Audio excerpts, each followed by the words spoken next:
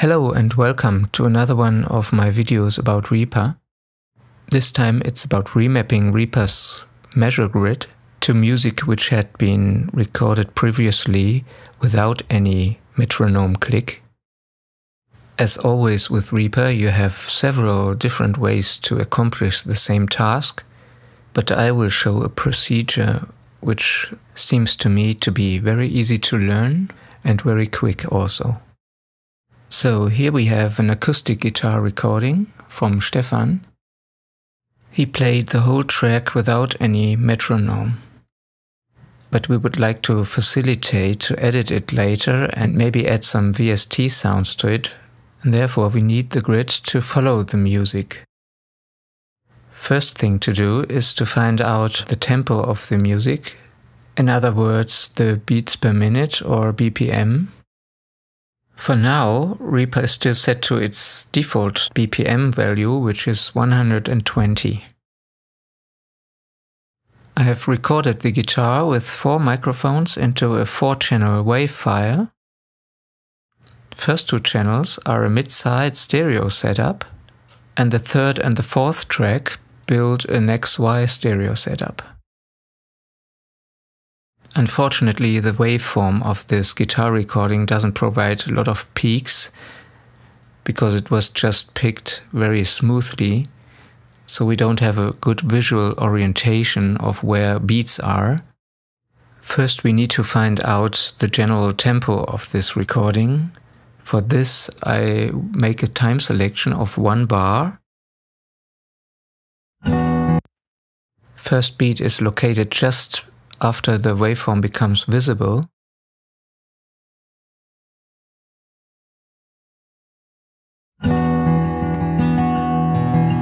and here we have the next downbeat.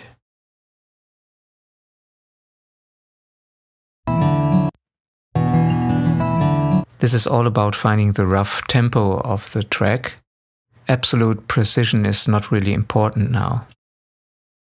Having set the time selection to approximately one measure, we open up the action list and try to find an action that can measure the tempo from the length of this time selection. This is the one we need. As I did also, you might assign a keyboard shortcut to it if you are using it regularly.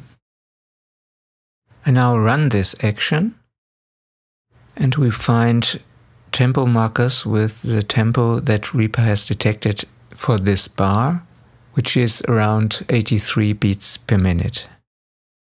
Now that we have found out about the tempo of the song, we can undo the last step and we can set the project tempo to the 83 BPM. I now turned on snapping and I will insert a tempo marker with a value of 83.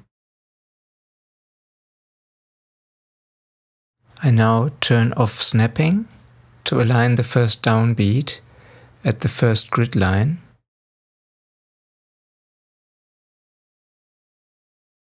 I engage the click to see if the downbeat is right on.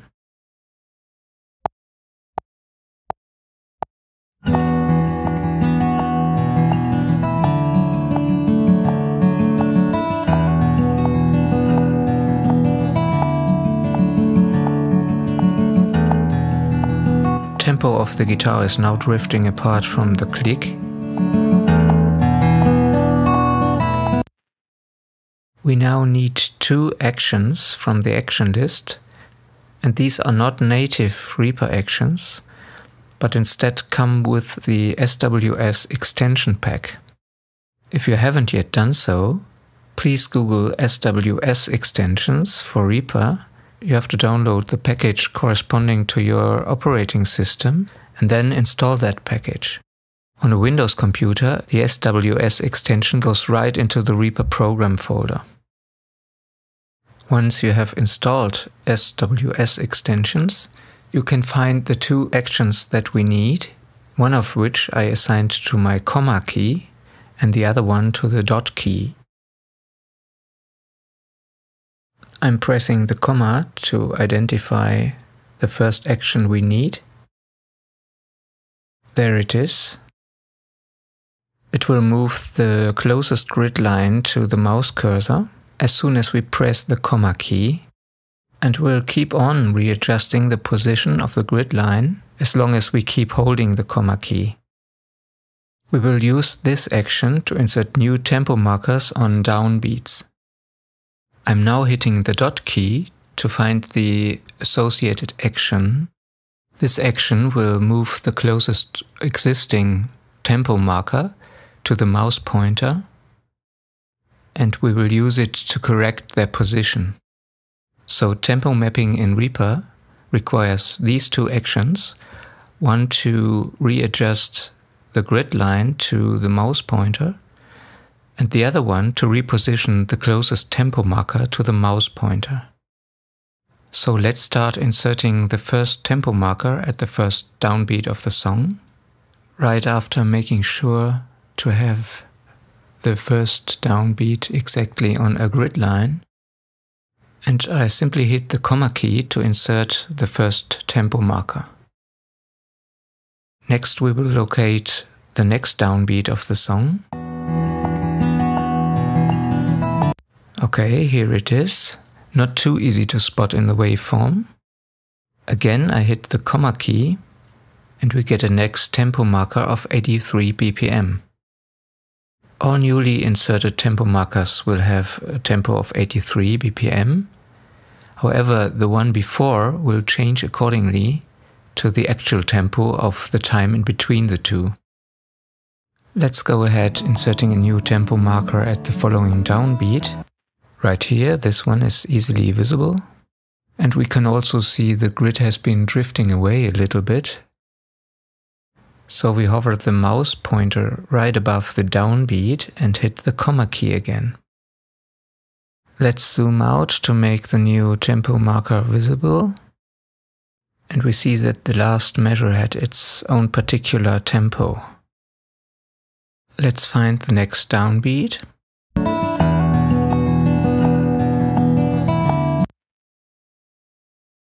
This one is a little bit trickier because the waveform we see here is an offbeat before the actual downbeat occurs. The downbeat will be around here, so I press the comma key again.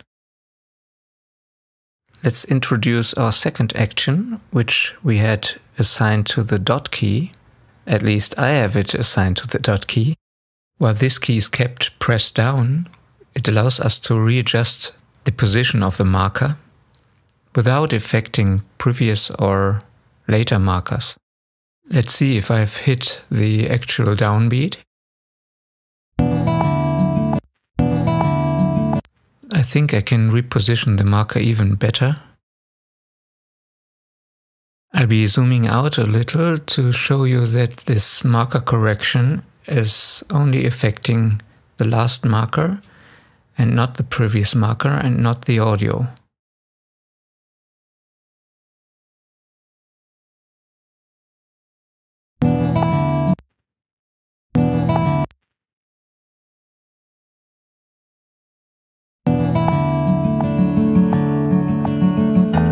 Okay, next downbeat. This one is easy to spot.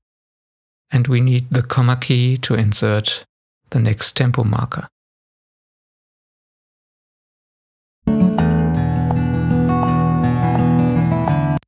Let's listen to what we have now from the beginning.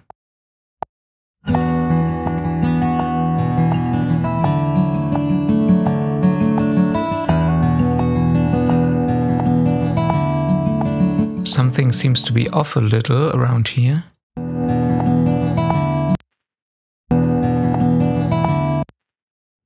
Take the dot key to readjust this marker here.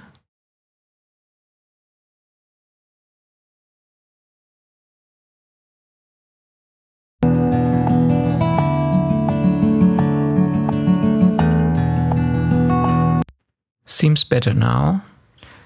And keep in mind, while we are readjusting markers with the dot key, we are not altering the tempo of the other markers around it. So the whole grid of what we have already achieved will remain. Watch what happens if I manipulate one of the markers.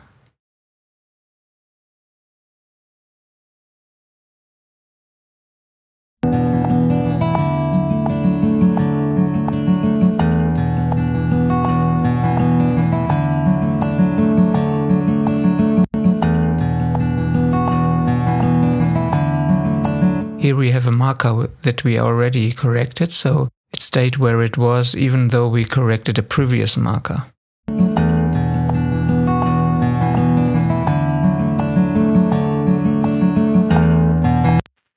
Next downbeat, I position the mouse pointer and hit the comma key.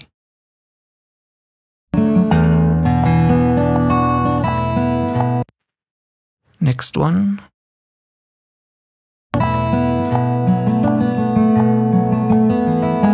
You may have spotted already that the mouse pointer can be virtually anywhere with respect to the timeline when creating a new tempo marker. I will now insert the master track where we can see the tempo map with its slight variations in the tempo. Let's take another example.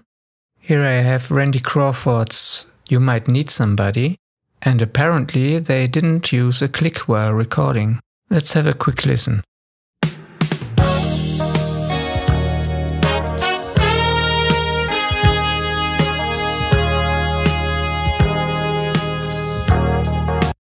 Okay, let's try to find out the rough tempo of the song first. Here is the first downbeat. I'm making the time selection fit one measure.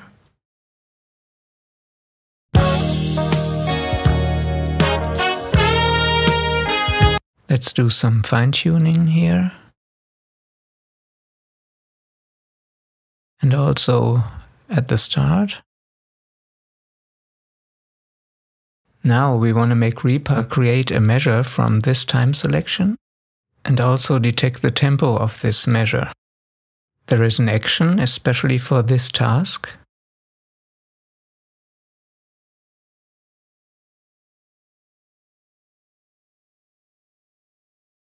I run this action and Reaper finds out the tempo of this area, which is around 80 BPM. I'm undoing this action and setting the project BPM to 80. However, what we can see is that changing the tempo of the project stretches the audio, but obviously this is not our goal.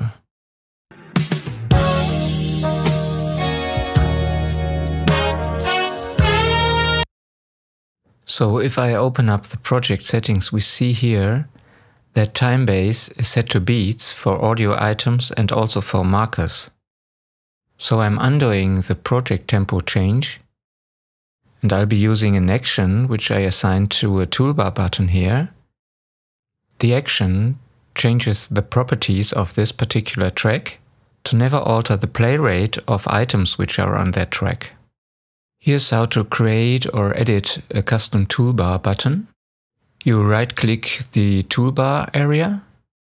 Then you can either add a new toolbar button or edit an existing one. So clicking on my toolbar icon, I can make the items of the track not to time stretch on tempo changes. So let's change the project tempo to 80 BPM. And we can see that the audio hasn't been time stretched this time. I'm also setting the first project tempo marker to 80. Now I want to configure the pre-roll of the song. I want the first downbeat to occur on marker 2 at time point 0. And I put marker 1 on bar 0. I turn off snapping and move the first downbeat exactly to the location of marker 2.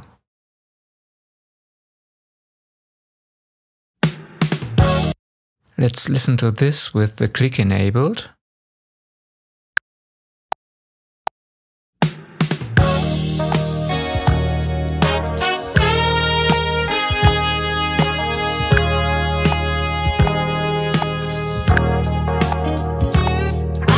Beginning is good, but it's quickly drifting apart. This time it helps that we have a better representation of the drum beats in the waveform, so it's really no problem to spot the downbeats. And I'll be using the comma key to position our first tempo marker. I think I put this one a little bit too early, so I'll be readjusting it with the dot key kept pressed down.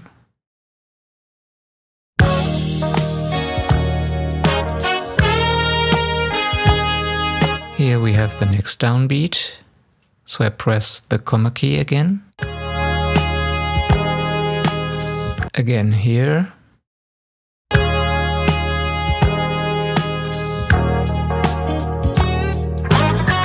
Again here, it has drifted apart already. And once again here.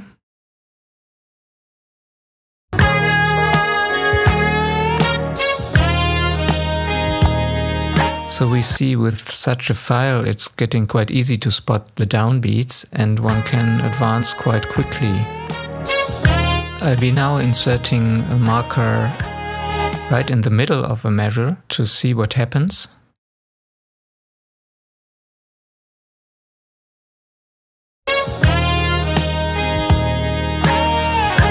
Yeah, it works well. Here we have the next one.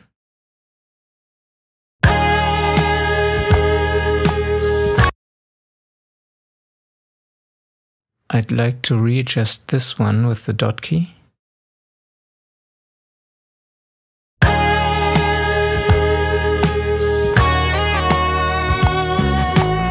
Okay, another one very early here.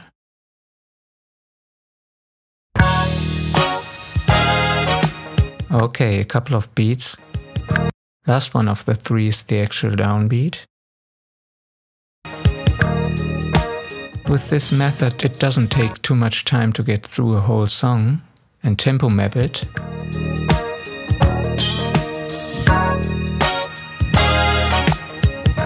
Let's open the view for the master track to get an overview over the tempo drift throughout the song.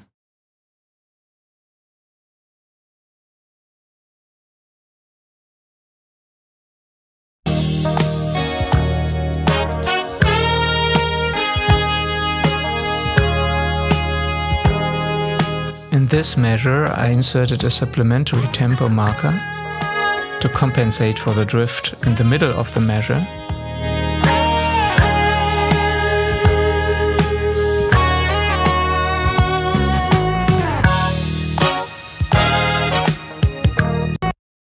There may be a little bit of a drift in the middle of this measure also.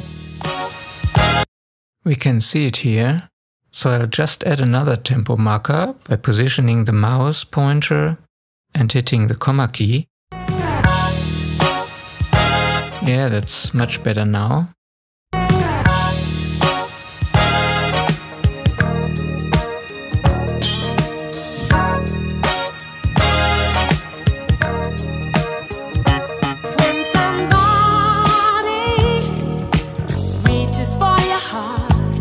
Okay, this is time warping or tempo mapping in Reaper. Have fun tempo mapping and see you next time. Thanks for watching.